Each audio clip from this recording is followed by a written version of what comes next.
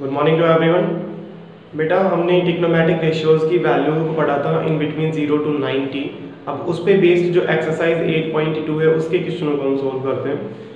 NCERT exercise 8.2 जो है, ठीक है? देखो 8.2 में फ़र्स्ट क्वेश्चन है बेटा. फ़र्स्ट क्वेश्चन का फ़र्स्ट पार्ट है. ये कह रहा है कि भाई sine 60 sine of 60 degree cos of 30 degree plus sin of 30 degree cos of 60 degree, cos of 60 degree. इसकी वैल्यू आपने फाइंड आउट कर ली। तो बेटा टिक्नोमेटिक रेशियोज की वैल्यू जो है वो आपको पता है। केवल आपने यहाँ पे वैल्यू पुट करनी है साइन 60 साइन 60 की वैल्यू होती है under root three by two sine sixty की value under root three by two cos thirty बेटा, जो साइन 60 की वैल्यू होती है, वही आपको पता है कॉस 30 की वैल्यू होती है, क्योंकि 30 और 60 डिग्री पे साइन और कॉस जो है वो एक्सचेंज होते हैं। 30 और 60 पे साइन और कॉस एक्सचेंज होते हैं।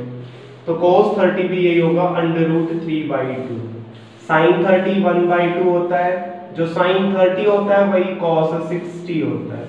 इसको सिंप्लीफाई कर लेंगे। Under root three under root three पे बेटा थ्री हो जाएगा टू क्रॉस टू फोर हो जाएगा। इसको मल्टीप्लाई करेंगे तो वन बाई फोर एड कर देंगे बेटा बेस फोर है इनका तो three plus one that is four upon four which is equals to one तो टिक्नोमेटिक रेशियोज जो है, इनकी वैल्यू आपको याद होनी चाहिए ज़ीरो से नाइनटी के बीच में, तभी आप इनको कैलकुलेट कर सकते हैं। ठीक है सेकेंड क्वेश्चन देखो। सेकेंड जो क्वेश्चन है बेटा, इसका सेकेंड पार्ट अभी सेकेंड पार्ट में हमारे पास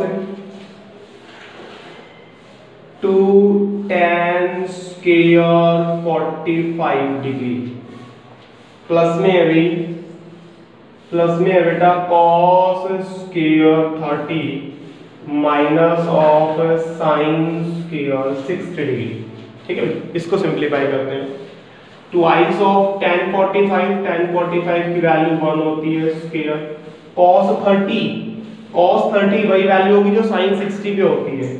यानी कि under root three by two square minus में sin 60 under root three by two square simplify करते हैं वन का स्केयर वन वन को टू से मल्टीप्लाई करेंगे टू इसका स्केयर करेंगे? अंडर रूट थ्री का स्केयर थ्री टू का square four three upon four minus में थ्री अपॉन फोर बेटा, ये पॉजिटिव है ये नेगेटिव है सिंप्लीफाई हो गया। रिज़ल्ट कितना आ गया हमारे पास? Result is equals to two ठीक है भाई थर्ड पार्ट देखो बेटा। तीसरा जो पार्ट है इसका। थर्ड पार्ट है बेटा। ये कह रहा है कि भी cos 45 cos of 45 degree third part अभी फ़र्स्ट क्वेश्चन का थर्ड पार्ट cos 45 है।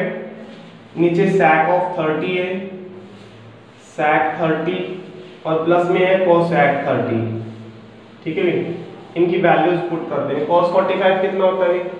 cos 45 होता है बेटा 1 by under root two sec 30 sec 30 की वैल्यू चाहिए। तो देखो sec 30 हम कैसे लिखेंगे? sec 30 हमें वैल्यू चाहिए तो हम जाएँगे cos 30 पे। हमें पता है ये इसका रेसिप्रोकल होता है। और cos 30 की अगर वैल्यू चाहिए तो हम जाएँगे sin 60 पे।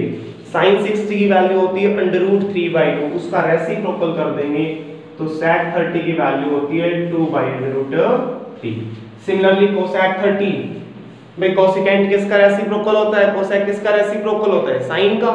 तो साइन 30 की वैल्यू कितनी होती है? साइन 30 की वैल्यू 1 बाई टू उसका रेसिप्रोकल 2 बाई 1 इसको सिंप्लीफाई करते बेटा ऊपर वाली टर्म एज इट इज़ नीचे वाले का एलसीएम ले लेते हैं अंडर रूट थ्री ये हो जाएगा two plus two under root three ठीक है? ऊपर one by under root two नीचे वाली टर्म रेसिप्रोकल होके जाएगी. अंडर रूट थ्री ऊपर जाएगा two plus two under root three नीचे आएगा. इसको मल्टीप्लाई कर देते हैं. अंडर रूट थ्री अपॉन ये अंडर रूट टू इन दोनों से मल्टीप्लाई होगा. तो क्या आएगा? भाई two under root two two की अंडर रूट टू की multiplication two under root two और अंडर रूट टू को इससे करेंगे तो ये आएगा प्लस में टू अंडर रूट सिक्स ठीक है? हो गया यहाँ तक? डिनोमिनेटर में अंडर रूट की टर्म आती है रेशनलाइजेशन कर दो यहाँ से.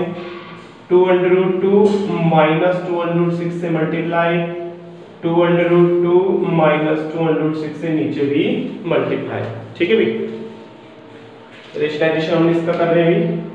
अब ऊपर अंडर रूट थ्री से मल्टीप्लाई करते हैं। अंडर रूट थ्री इससे मल्टीप्लाई होगा। मल्टीप्लाई जब आप करते हो ना तो अंडर रूट वाला नंबर अंडर रूट वाले से मल्टीप्लाई होता है without under root without under root से मल्टीप्लाई होता है। तो अंडर रूट थ्री को जब आप इससे मल्टीप्लाई करेंगे तो ये हो जाएगा टू अंडर रूट सिक्स और अंडर रूट थ्री को जब आप इससे करेंगे तो ये हो जाएगा two under root eighteen upon rationalisation का कोई भी क्वेश्चन हो डिनोमिनेटर में बेटा आपको पता है कि फॉर्मूला बनता है A square minus B square यानी नीचे आप लिख सकते हैं two under root two square minus में two under root six square. ऊपर वाली टर्म ऊपर वाली टर्म में बेटा टू कॉमन है। अंदर आ जाएगा under root six minus under root eighteen, नीचे। इसका स्केयर करते हैं टर्म से जब मल्टीप्लीकेशन में होती है तो जो भी पावर होती है ना, वो सबको अलग अलग दी जाती है। टू का स्केयर फोर और अंडर रूट टू का टू फोर टू पे एट माइनस इसका भाई फोर और सिक्स पे ट्वेंटी फोर यानी इसको सिंप्लीफाई करोगे तो ये हमारे पास आ जाएगा माइनस ऑफ़ सिक्सटीन और टू वन पे और एट पे ये कैंसिल हो गया. यानी आ जाएगा under root six minus under root eighteen upon minus of eight ठीक है? इस माइनस साइन को ऊपर भेज देते हैं. Under root eighteen minus under root six upon eight ठीक है भाई? यहाँ पे अंडर रूट एटीन को आप सिंप्लीफाई कर सकते हो. अंडर रूट एटीन के फैक्टर हमें पता है three cross three cross two होते हैं और कोई भी नंबर अंडर रूट में जब दो बार आ जाता है, बेटा कोई भी नंबर अंडर रूट में जब दो बार आ जाता है तो आउट ऑफ़ स्केयर रूट हम उसको कितने बार लिखते हैं? एक बार लिखते हैं। तो यहाँ पे अंडर रूट एटीन को हम लिख सकते हैं three under root two minus of under root six upon eight ये इसका आंसर है। ठीक है बेटा? तैयार करके देखना बेटा इंग्लिश